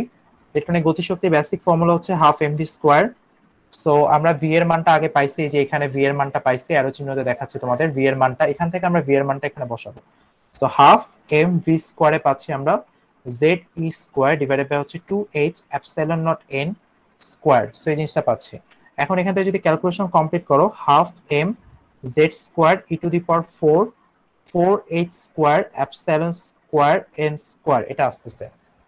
এরপরের লাইনে আমরা লিখতে পারি কে ই কস টু হচ্ছে আমাদের কে ই কস টু হবে আমাদের Z M into Z square E to the power four divided by হচ্ছে eight H square epsilon square N square right so এটা পাচ্ছি কাইনেটিক এনার্জির ইকুয়েশন ওকে সো এটা কাইনেটিক এনার্জি ইকুয়েশনটা পেলাম আমরা। আচ্ছা খুব সম্ভবত অ্যাপসাইলন হচ্ছে বিপ্লব স্যারের বইতে ইউজ করা হয়েছে তারপরে আসো আমরা এখন পটেনশিয়াল এনার্জি বা বিভব শক্তি বের করা দেখি। সো পটেনশিয়াল এনার্জি বা বিভব শক্তি আসলে কি? কীভাবে থাকে? কোন একটা ইলেকট্রনের অবস্থানের কারণে তার মধ্যে যে শক্তি থাকে, তাকে আমরা বলতেছি ইলেকট্রনের পটেনশিয়াল এনার্জি বা বিভব শক্তি। তো সেটার ভ্যালুটা কি হবে? আমাদের জানো যে তোমরা one by four by epsilon into Q one by Q Q one into Q two divided by R R square না কিন্তু আর আর কেন? সেটা নিয়ে আমরা প্রিভিয়াস ক্লাসগুলোতে অনেক কথা বলছি। সো এখানে আর স্কোয়ারের জায়গায় শুধুমাত্র আর বলতেছে পটেনশিয়াল এনার্জি অফ ইলেকট্রন বা ইলেকট্রনের বিভব শক্তি হচ্ছে one by four by epsilon Q one Q two by R but এইখানে যখন আমরা ভ্যালু বসাবো না বিভব শক্তিতে, তখন আসলে সাইন সহ বসাবো বা চিহ্ন সহ বসাবো। এই জিনিসটা মনে রেখো। চিহ্ন সহ বসাবো। চিহ্ন সহ বসাবো। কারণ শক্তি বা এনার্জি এটা কিন্তু ভেক্টর রাশি না। তোমাদের একটা জিনিস তোমার ফিজিক্সও দেখবা আমি যদি এখন বললে কি তোমাদের কনফিউশন ফিউচার ইন ফিউচার তোমরা দেখবা যে আসলে যখন ভেক্টর রাশির ক্যালকুলেশন করো তখন কিন্তু ভেক্টর রাশির মাঝে কোথাও কিন্তু তুমি সাইন সহ বসাও না। তোমাদের কি এটা আমার কথাটা ধরতে পারছ তোমরা? নাকি কনফিউজ হয়ে গেল?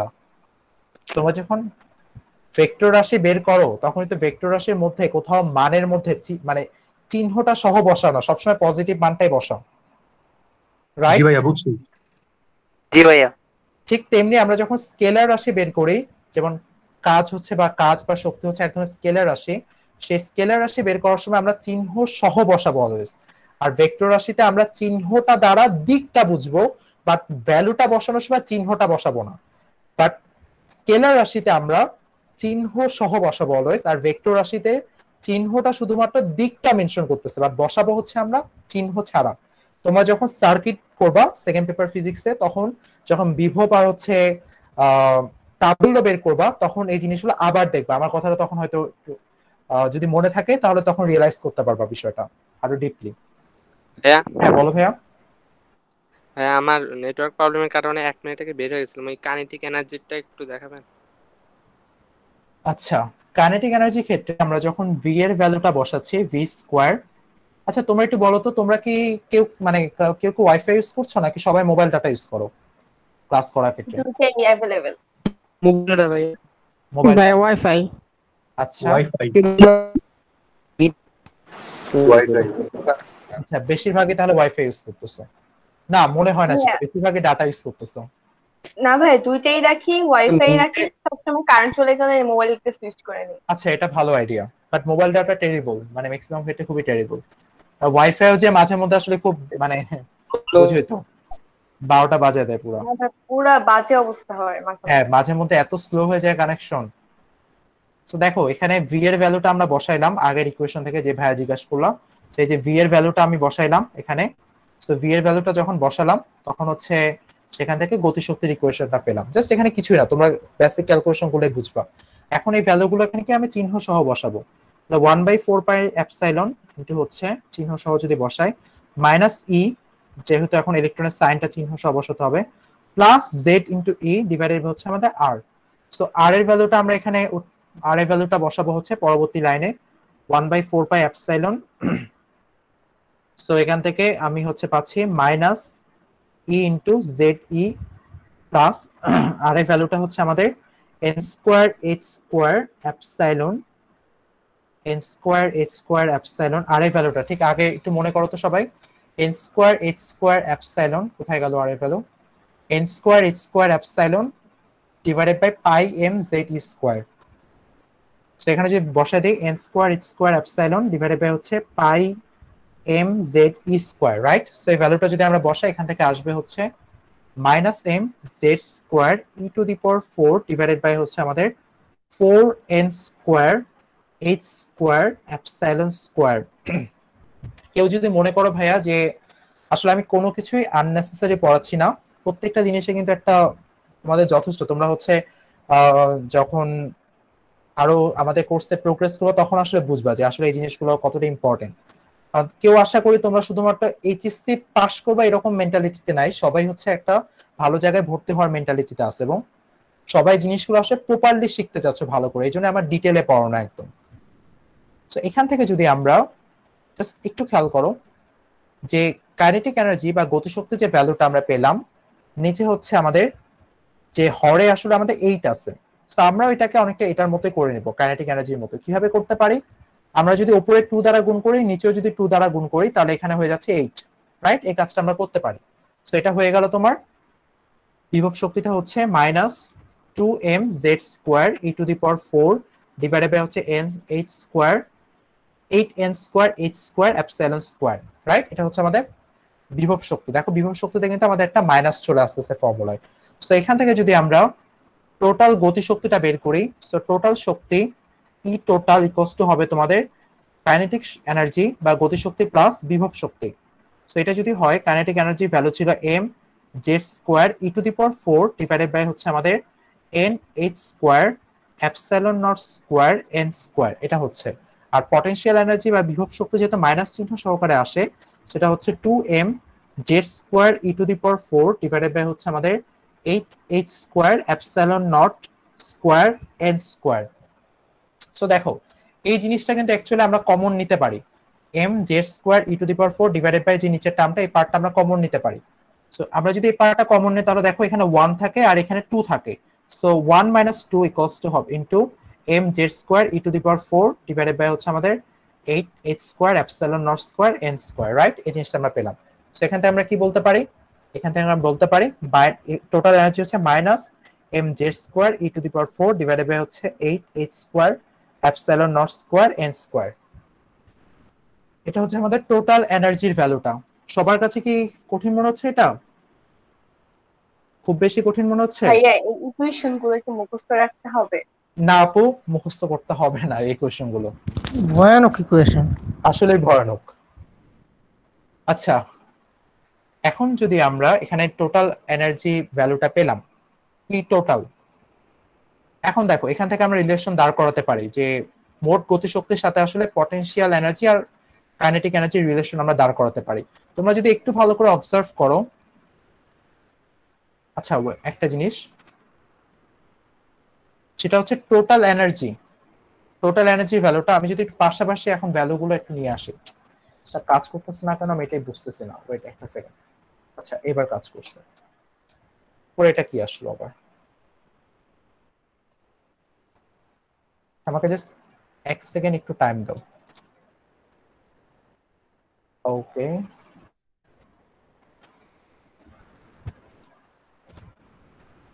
জাস্ট এই ভ্যালুটাকে নিয়ে আসি। এটা হচ্ছে আমাদের পটেনশিয়াল এনার্জির ভ্যালু ছিল। সো এটাকে আমি নিচে নিয়ে আসি। এটা ছিল আমাদের পটেনশিয়াল এনার্জির ভ্যালু বা বিভব শক্তির ভ্যালু রাইট আর গতিশক্তির ভ্যালুটা ছিল এইটাই। জাস্ট আরেকটাকে আমি কপি করলাম এই প্লেসে তো গতিশক্তিটা দেখো আমাদের টোটাল এনার্জি ইটি কস্ট হচ্ছে এই টুটা নাই এখানে। এই টুটা নাই। বাট বাকি পার্টটা সেম থেকে এই টুটা নাই জাস্ট সামনে এম এর আগে এম এর বামে যে টুটা ছিল সেই টুটা নাই। আর গতিশক্তির ক্ষেত্রে ফর্মুলাটা যদি আমি আরেকবার কপি পেস্ট করি এখানে, সেটা ছিল কিন্তু তোমার, সেটাতে অ্যাকচুয়ালি গতিশক্তি ফর্মুলাটা কিন্তু প্লাস ছিল, যেটাকে আমরা কে লিখতেছি এবং এখানে, এখানেও এই টুটা নাই। আচ্ছা এখন দেখো তো এখান থেকে আমরা কিন্তু একটা রিলেশন দাঁড় করাতে পারি। তো রিলেশনটা কি হবে? এই রিলেশনটা তোমরা মাথায় রেখো। সেটা হচ্ছে, আমরা এখান থেকে বলতে পারি এই পটেনশিয়াল এনার্জির সাথে বাকি দুটো এনার্জি একটা রিলেশন দাঁড় করাতে পারি। তো সেটা কি হবে? আমরা যদি আসলে আমাদের যে টোটাল এনার্জি সেটাকে যদি আমরা টোটাল এনার্জিকে যদি আমরা আসলে দুই দ্বারা গুণ করি তাহলে আমরা বিভব শক্তি পাচ্ছি না দেখো তো। বিভব শক্তি ইকুয়েশন পাচ্ছি না একজন বলো তো? জি ভাইয়া। আর আমরা যদি গতিশক্তিকে আমরা যদি গতিশক্তিকে মাইনাস টু দ্বারা গুণ করি দেখো গতিশক্তিকে মাইনাস টু দ্বারা। তাহলে এখান থেকে আমরা বিভব শক্তি পাবো না? হ্যাঁ এই জিনিসটা আমরা এখান থেকে একটা রিলেশন দ্বারা করলাম। সেটা হচ্ছে পটেনশিয়াল এনার্জি বা বিভব শক্তি কষ্ট হচ্ছে মাইনাস টু কাইনেটিক এনার্জি বা গতিশক্তি ইন্টু হচ্ছে two into E total so এই রিলেশনটা তোমরা কষ্ট করে একটু মাথায় রেখো। এখন দেখো আমাদের ভ্যালুগুলো বসানো পালা। এই বিভৎস জিনিসটা আমরা মনে রাখব না। মনে রাখার দরকারও নাই। মনে রাখা পসিবলও না আমি যেটুকু মনে করি। সো হ্যাঁ অনেকে মনে রাখতে পারবা বাট আমার পক্ষে মনে রাখা পসিবল না। সো ই টোটাল হচ্ছে আমাদের মাইনাস থার্টিন পয়েন্ট সিক্স এগুলো কিন্তু আমি ডিরাইভ করে দেখালাম, দেখে এটা পসিবল বাট হচ্ছে এটা মনে রাখা পসিবল না। সো ই টোটাল হচ্ছে minus thirteen point six Z square by N square right so হচ্ছে মাইনাস থার্টিন পয়েন্ট সিক্স সবগুলো ভ্যালু বসালাম। আমরা ইলেকট্রন ভোল্টে নিলাম, যাতে আমরা একটা সুন্দর একটা ইকুয়েশন পাই। ই টোটাল ইকোয়াসটা পেলাম minus thirteen point six Z square by N square electron ভোল্টে সো আমরা কি জানি এখান থেকে আমরা যদি হচ্ছে গতিশক্তির ইকুয়েশনটা বের করতে চাই জাস্ট এই মাইনাসটা তখন প্লাস হয়ে যাবে গতিশক্তি ক্ষেত্রে, এটা মাথায় রেখো জাস্ট এই মাইনাসটা তখন প্লাস হয়ে যাবে গতিশক্তি ক্ষেত্রে। আর বিভব শক্তির কি হবে? Minus twenty seven point two আর পটেনশিয়াল এনার্জি হচ্ছে minus twenty seven point two Z square by N square electron volt তোমাকে মনে রাখতে হবে এই তিনটা ইকুয়েশন টোটাল এনার্জির ইকুয়েশনটা মনে রাখবা। টোটাল এনার্জিকে যদি মাইনাস ওয়ান দ্বারা গুণ করো রাইট এখানে, এখান থেকে তোমরা বুঝতে পারতেছো যে টোটাল এনার্জিকে যদি তুমি মাইনাস ওয়ান দ্বারা গুণ করো, তাহলে আসলে গতিশক্তির ইকুয়েশন পাচ্ছ। আর টোটাল এনার্জিকে যদি আসলে যদি টু দ্বারা গুণ করো, তাহলে আসলে বিভব শক্তির ইকুয়েশন পাচ্ছ। সবাই ক্লিয়ার এই পর্যন্ত? আমরা মনে রাখব এই ইকুয়েশন তিনটা। এটা এটা আর এটা। সবার কাছে ক্লিয়ার জি ভাইয়া, এবার ক্লিয়ার ওকে ভাইয়া। হ্যাঁ বলো ভাইয়া। ভাইয়া গতিশক্তি ওটার মধ্যে শুধু ওয়ান গুণ হলো কেন? ওটার মধ্যে টু গুণ হবে না? প্লাস টু দিয়ে গুণ গুণ হবে না ভাইয়া? তুমি দেখো এখানে এই লাইনের পর আমরা কি লিখতে পারি? Minus two K E equals two হচ্ছে টু ইটি ই টোটাল টু টু বাদ। Minus K E equals two হচ্ছে ই টোটাল তার মানে কাইনেটিক এনার্জি হচ্ছে মাইনাস ই টোটাল তার মানে মাইনাস ওয়ান দ্বারা গুণ করলে তুমি আসলে কাইনেটিক এনার্জি পেলা। বুঝলা? বুঝতে পারছি। জি ভাইয়া এবার ক্লিয়ার সো এটা হচ্ছে তুমি এই কারণে মাইনাস ওয়ান দ্বারা গুণ করে পেলা। আর এখানে দেখো ঠিক সেম ভাবে দেখো ঠিক রিলেশনটা দাঁড় করালে তুমি আশা করি পারবা তোমরা সবাই কাজটা করতে। যে দেখো টোটাল এনার্জিকে যদি আমরা জাস্ট দুই দিয়ে গুণ করি এখানেই পাচ্ছি আমরা। টোটাল এনার্জিকে যদি দুই দিয়ে গুণ করি তাহলে আমরা পটেনশিয়াল এনার্জি বা বিভব শক্তি পাবো। তোমরা কি সবাই আসছো নাকি চলে গেছো? দেখি তো। ভাইয়া। আচ্ছা আসছো তো। তো সবাই। আছি আহ বেশ ধৈর্য তোমাদের। তো। লাগল দেখে। তোমরা অনেক অ্যাটেন্টিভ আচ্ছা। তাহলে তো গেল এই পার্টটা সো এই পর্যন্ত ক্লিয়ার সবার আশা করি। আছে কি আর আগানোর দরকার আছে? না ভাইয়া প্লিজ আর আগে ভাইয়া আর দরকার নাই। এই কোয়েশন আচ্ছা। দেখতেই মাথা ঘুরতেছে। আচ্ছা ঠিক আছে আর পড়ালাম না আজকে। কালকে আমরা এই কোশ্চেনগুলো সোজা ভাবে প্রুফ করব। লাইক তোমাদের কে দিয়ে প্রুফ করব? তোমাদের বই বইতে যেটা আজকে আর মনে নিতে পারব না। না আজকে আর করাবো না। যাও তোমাদের ছুটি দিয়ে দিলাম আজকে। এখন ক্লাস কি আবার বুধবার না? হ্যাঁ নেক্সট ক্লাস